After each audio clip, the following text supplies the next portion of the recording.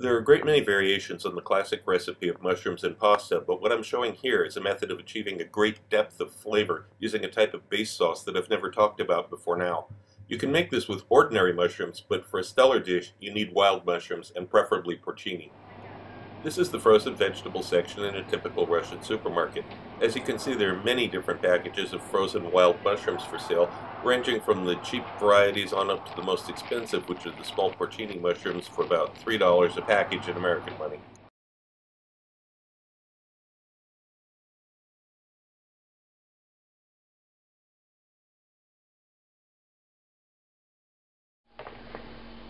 Have a non-stick pan that's already fairly hot. I'm going to put a little bit of oil into this, but not really very much, maybe a tablespoon.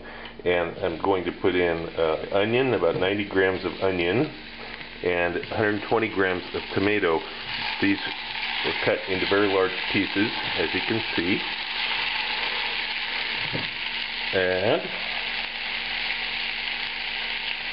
we'll put lid over this. Now, now that they're already cooking, I'm going to turn the heat down. It was on 8. I'm turning the heat down now to 6 out of 1 to 10. We're going to let this cook for quite a while. We actually want some blackening on this. And it's been about 4 minutes. I'm just going to check it. I know it. I know it's not ready yet, but I just want to show you. Check it every once in a while. Okay. It's cooked, but it's certainly not black. You can assume all the other pieces will be about the same. So we're going to flip it back over and keep going. Now it's been close to eight minutes, and I'm going to check this out. Okay, now we're getting some. Now we're getting some color here. So, not not done by any stretch of the imagination, but we're making some progress now.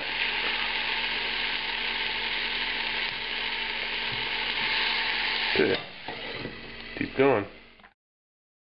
After about 12 minutes of cooking, you can see there's quite a bit of fond on the bottom, some nice blackness, which is what you want. I'm adding the crushed garlic clove in and deglazing it with the white wine. Just stir it around, scrape the bottom, try to pick up as much of that as you can. You can turn the heat off now, let it cool down. Uh, when it stops uh, being excessively hot, then we're going to blend it.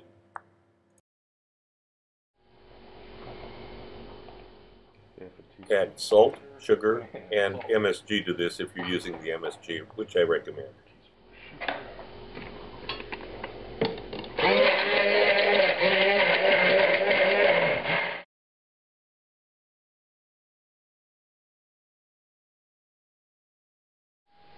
So we have these wild mushrooms that were uh, purchased frozen. You can also freeze them yourself, of course, if you can pick them in the forest somewhere. And uh, I'm straining through a sieve to remove the liquor. They don't need to be completely dry for this, but but you need to get most of the moisture off of them. But save save this moisture. We're going to use this. We're going to use this in just a minute.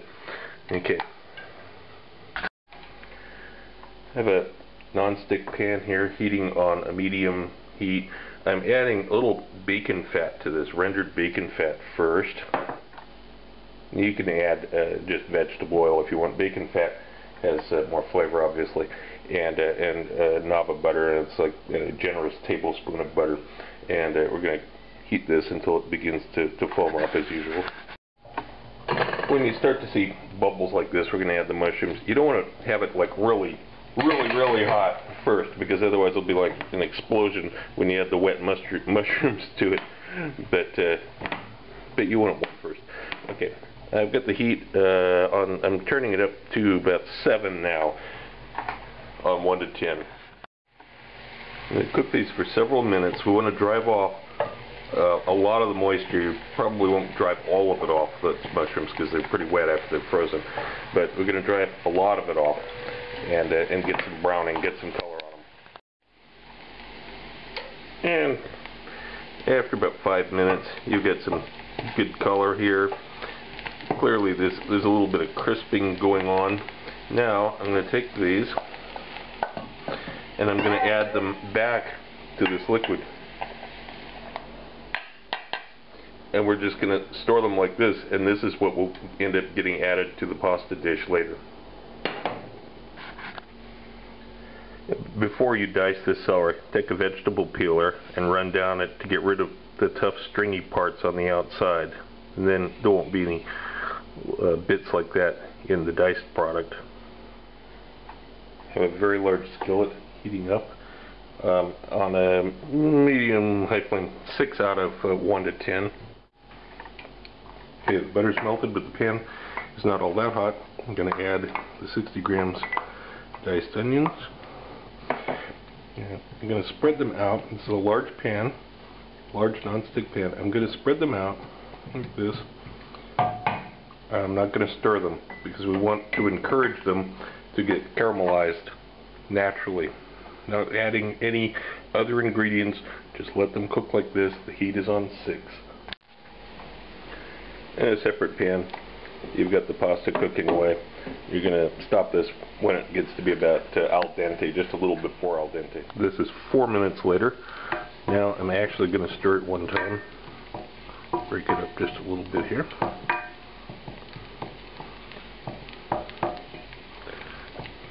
And we'll let it continue cooking. It's been about three more minutes and you can see there's some brown spots on the onions now. That's what we want. Now we're adding the celery, 30 grams of diced celery that uh, I peeled the um, tough membrane off of the edge of.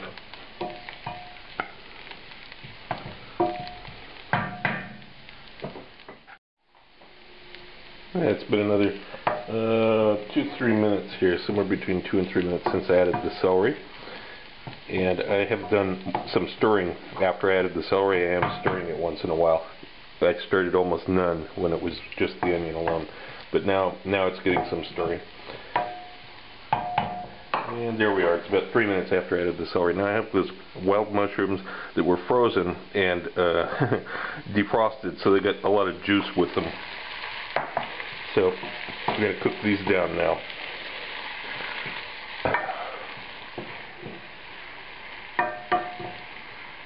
Same heat, nothing's changed. Give it a little time here. Okay, now we're at three minutes since I added the mushrooms.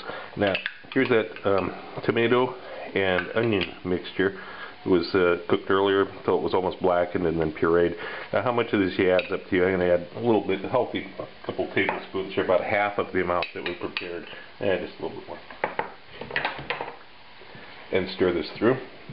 And cook it a little bit more. I'm going to make sure those mushrooms are really fully cooked.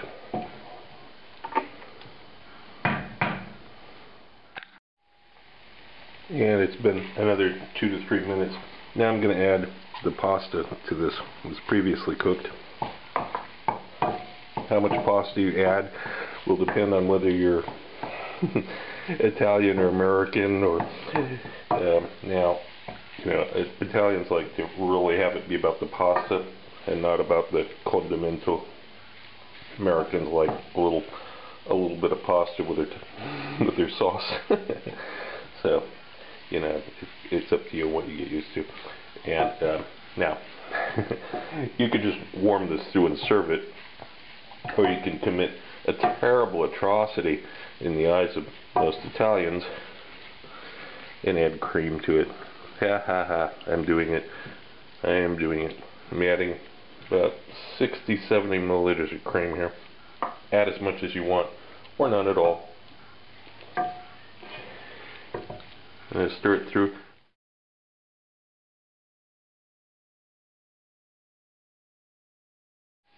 Now what you're going to see during this time is it, it tightens up. It gets too tight. So we, we add a little bit of the pasta water to it.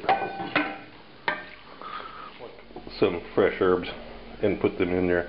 I'm actually using tarragon, which I'm pretty sure is not traditional anywhere in Italy. I could be wrong. There's a lot of regions. Maybe, maybe somewhere. But I don't think it's traditional anywhere there, but I like it. Tastes good. You can use basil. Certainly that would be traditional. Or parsley. Tarragon's nice though. You don't have to follow the rules just because Italians wouldn't use tarragon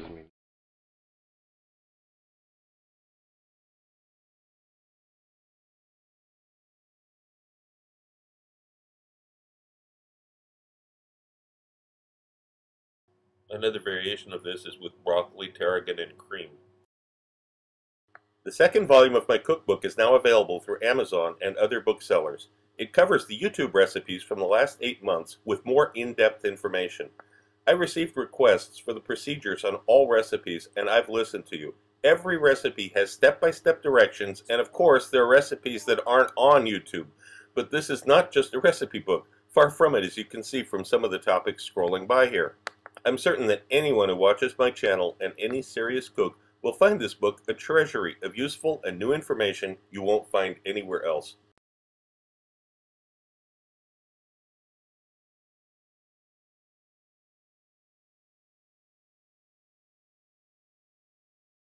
If you want to know more about my adventures as a chef around the world and have some great laughs along the way, be sure to check out the video tour of my book, 40 Years in One Night. It's up on YouTube right now. Click the link.